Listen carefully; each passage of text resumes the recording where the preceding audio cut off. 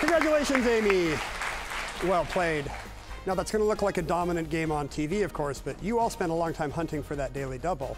If you had found Doc Holliday, it would have been tight going into final. Love Tombstone. I wasn't sure about Limestone, but then I realized if I didn't ring in, he was definitely going to get the daily double, so it was worth trying. and Yeah. I got it. Yeah. That is smart strategy there. I was kind of, I was wondering, Tyler, guess a rock, guess a rock. Yeah, probably, you know, coulda, woulda, shoulda, but, you know, hopefully I got your heart rate elevated a little bit at some You- you point. did, so. You did. Yeah. It's good play.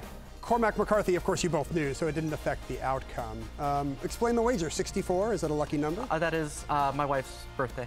Well, that's a nice little salute because you could have wagered any amount there. Maybe that's not the message to send. As long as it doesn't matter which number I use at all. Well, I mean, I'll pick yeah, your birthday. I, I never bet a non-round amount in, in my original run because like I already find the math stressful enough and I didn't like it just seemed too complicated but you know I had the chance here and the money isn't real so yeah Well, congratulations to all three of you for making it to the semifinals. Will you two be rooting for Amy, the, the champion you played, or do you want to see uh, someone else take her down? Of course.